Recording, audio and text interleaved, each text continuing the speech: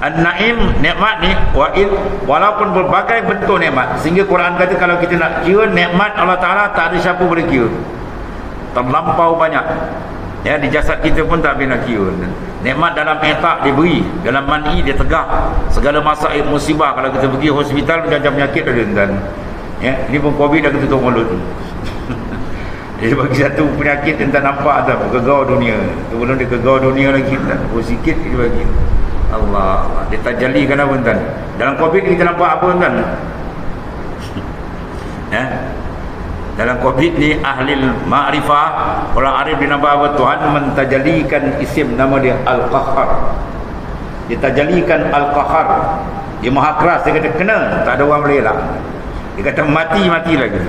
Ya itu tajalli isim nama dia.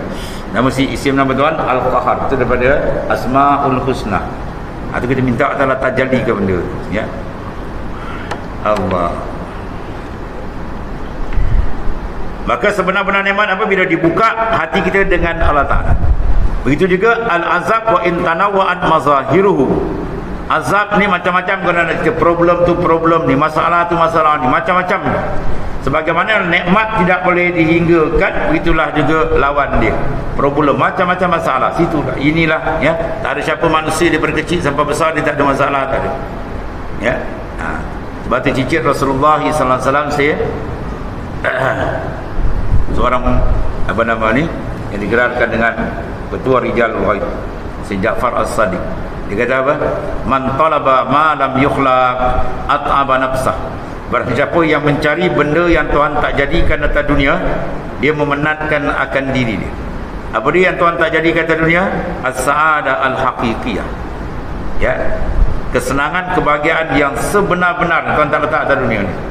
Dia letak kat sana. Sini tak ada. Sebab tu mana ada manusia yang atas dunia ni dia tak pernah sakit tak pernah apa sihat dan masalah ni tak lepas yang ni datang yang ni bawa nak ni yang ni pula timbul macam ah, itulah sifat dunia sengaja Tuhan jadikan begitu sebab apa tazhi dan lak supaya kamu zuhud dengan ni ya jadi azab sebenar apa? Pasababul azab wujudul hijab. Bila batin hati seorang ditutup oleh Allah Taala. Dia tidak boleh menghadap hadrat Tuhan. Ini azab paling besar. Itu nikmat paling besar bila dibukakan hati kita dapat marifat kepada Allah Taala dengan marifat yang sebenar dan azab sebaliknya. Sebab itu carilah jalan marifat yang sebenar-benar dengan Allah Taala.